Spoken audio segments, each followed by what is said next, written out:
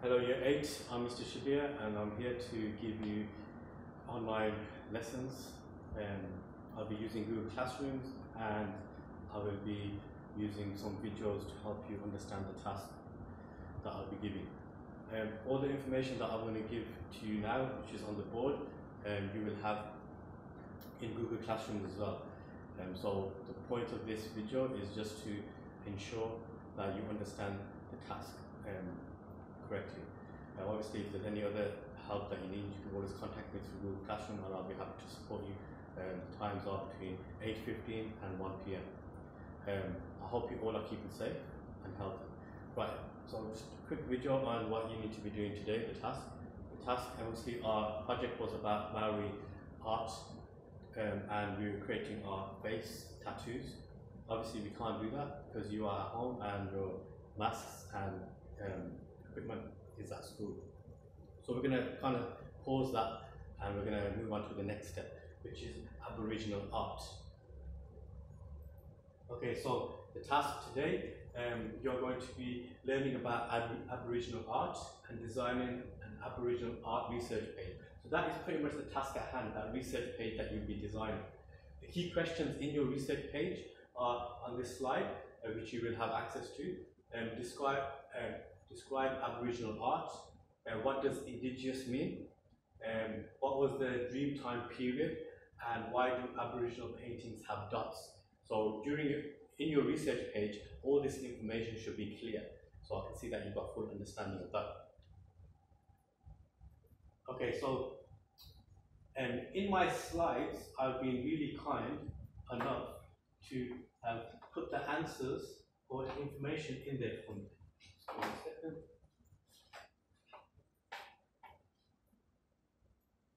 Okay, so if you just go through the slides, you'll be able to see the answers that you'll need to be putting up. So Aboriginal people, also known as the indigenous people, are native Australians.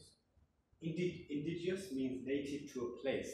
So I'll just quickly um, describe that. So a Qatari would be indigenous to Qatar because that is where um, that Qatari was born. An Egyptian would be indigenous to Egypt. Okay, so indigenous basically means where the person um, uh, was native to. Okay, where they were born, where they live. Okay, um, so there's some information in here that answers the questions that you need to include into your research page.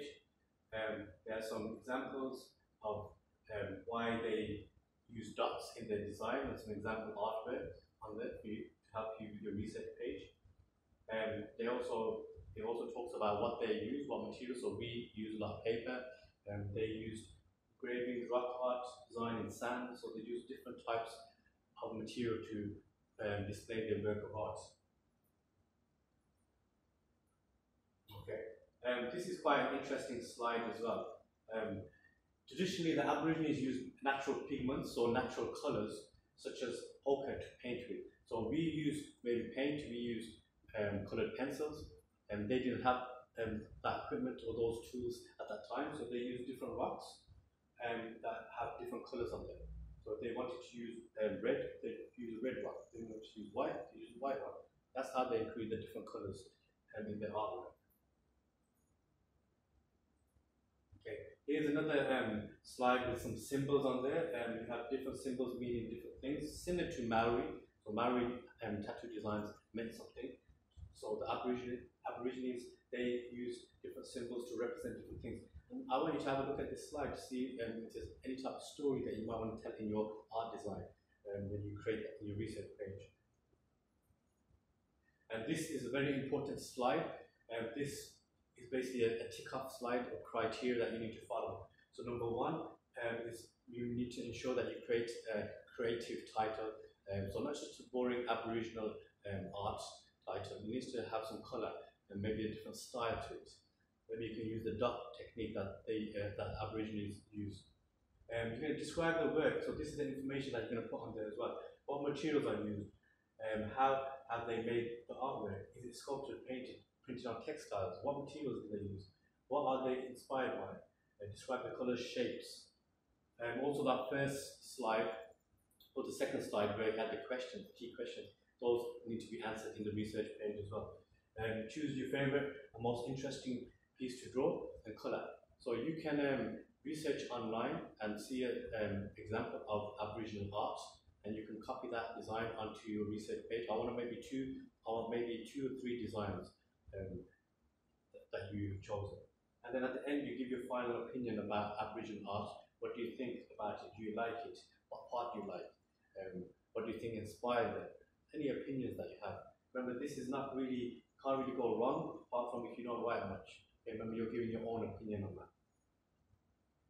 So here are some examples of what I expect from you, standards. Okay, so I'll give you some examples just so you understand what I'm looking for. Okay, here's some more student work that they've done. Okay, and here's some examples of animals that you might want to include um, in your research page as well. As I said, if there are any questions, please contact me on Google Classrooms and I'm here to help. Um, so hopefully um, that has made sense. If it hasn't, go through the slides and then after going through the slides, if you still don't understand, then just drop me a message and I'll be more than happy to help. Right guys, uh, see you soon.